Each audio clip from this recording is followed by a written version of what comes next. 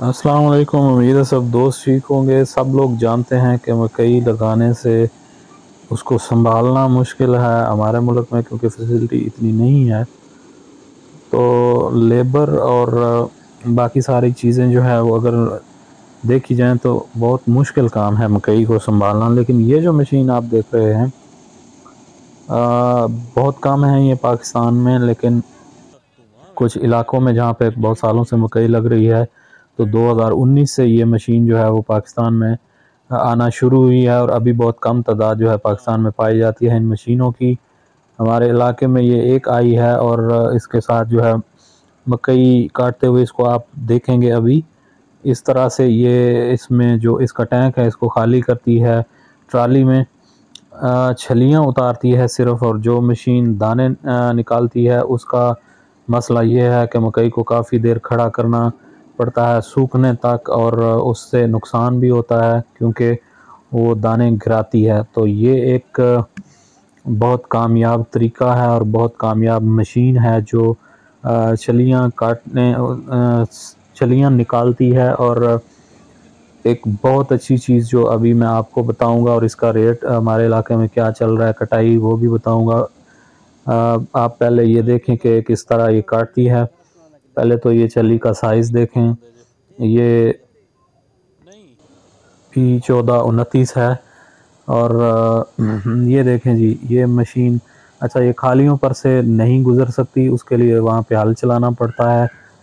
और अभी आपको दिखाता हूँ कि ये कैसे काटती है।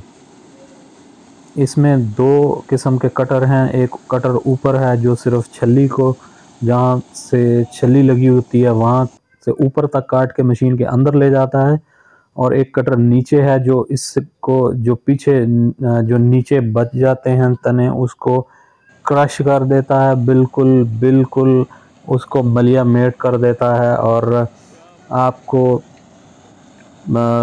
खेत की तैयारी जो अगली फ़सल के लिए है, वो बहुत आसान हो जाती है करना।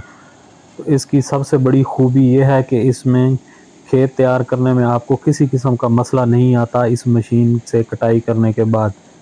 चलियाँ बिल्कुल साफ़, एक दाना भी डैमेज नहीं होता। ये देख सकते हैं आप, ये नीचे से क्रश कर रहा है और ऊपर से छली जहाँ पे छली लगी होती है, वहाँ से काट के मशीन के अंदर ले जाता है और वहाँ इसको साफ़ करके छलियाँ जो है वो निकलती जाती हैं और टैंक में जमा होती जाती हैं।